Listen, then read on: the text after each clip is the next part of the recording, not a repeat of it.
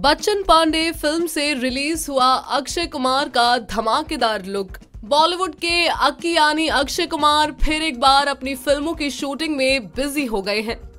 इन दिनों वो अपनी अपकमिंग फ़िल्म मिशन सिंड्रेला की शूटिंग में व्यस्त है। बता दें कि ये फ़िल्म की शूटिंग यूके में चल रही है, जिसमें अक्षय कुमार और रकुलप्रीत सिंह लीड रोल में देखने को मिलेंगे। इस फ़िल्म के अलावा अक्षय की और भी फ़िल्में हैं। जिनकी शूटिंग पूरी तरीके से कंप्लीट हो चुकी है। बस अब उन फ़िल्मों का रिलीज़ होना बाकी है। अक्षय कुमार ने अब तक सूर्यवंशी, बच्चन पांडे जैसी कई फ़िल्मों की शूटिंग पूरी कर ली है।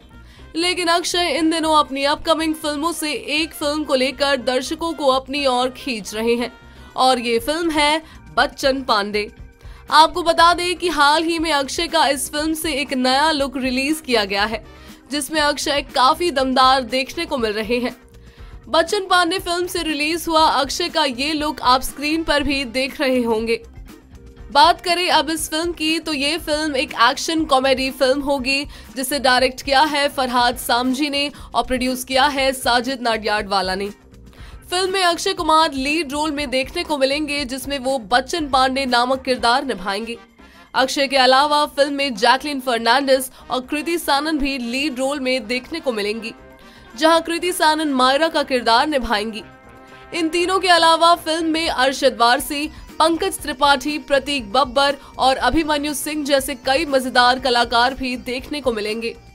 फ़िल्म में बॉबी देओल और रितेश देशमुख का भी स्पेशल अपियरेंस रखा गया है, जिसमें दोनों ही एक सॉन्ग में देखने को मिलेंगे।